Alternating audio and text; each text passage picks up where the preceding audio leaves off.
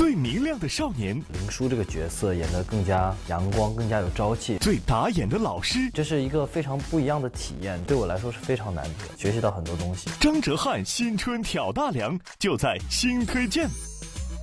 Hello，大家好，我是张哲瀚，新推荐，今天的推荐人就是我。新春到，祝福到，今儿是除夕，张哲瀚给您拜年了。班淑传奇很快就要亮相电视剧频道，这个春节就让好剧陪您过大年。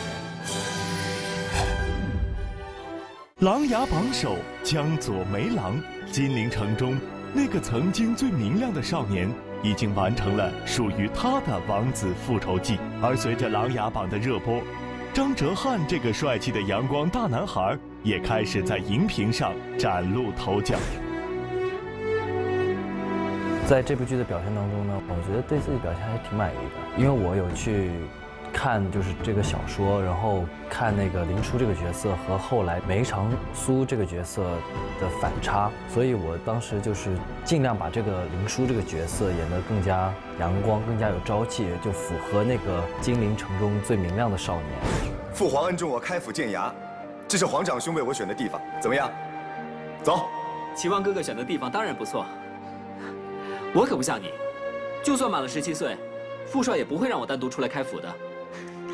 咱俩好兄弟，我的就是你的。走走。我就尽量去把这个人物的感觉往这上面去贴近，做的还是得到了大家的认可，所以挺开心的。青春年少。莫负年华，和那个勇往无前的少年林殊一样，生活中的张哲瀚也是一个实打实的行动派。这个酷酷的微博名，或许就是对他个人最纯粹的解读。因为我身上，比如说就是很爱运动啊，很健康，很阳光，我觉得这是和林殊有契合的地方。你这次去东海，起码得半年多才能回来吧？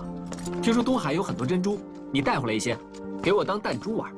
至少也得带个像鸡蛋那么大的吧？鸡蛋那么大？别闹了，哪有那么大？给你开个玩笑，带个鸽子蛋那么大的。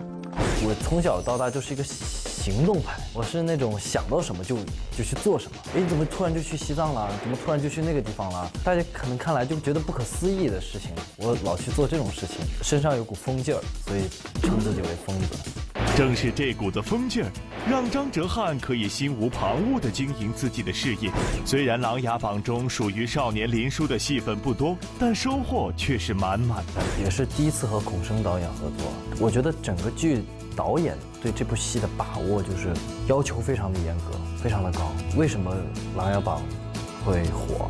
然后成为良心剧，我觉得和导演的态度和每个演员的态度都非常的契合，因为有这样的好的态度，才会有这样的好的作品。收获经验，告别回忆，班书传奇正蓄势待发。对张哲瀚来说，在本剧中手挑大梁，自然令他十分难忘。当然很难忘，就是人生总会有很多不一样的第一次，每个第一次都会牢牢的。就是刻在脑海里。作为第一次电视剧的男一号，怎么说呢？很感谢于老师能给这个机会让我第一次去挑大梁，然后同时自己也会有很大的压力，就做很多功课去撑起整部剧。这是一个非常不一样的体验，对我来说是非常难得，学习到很多东西。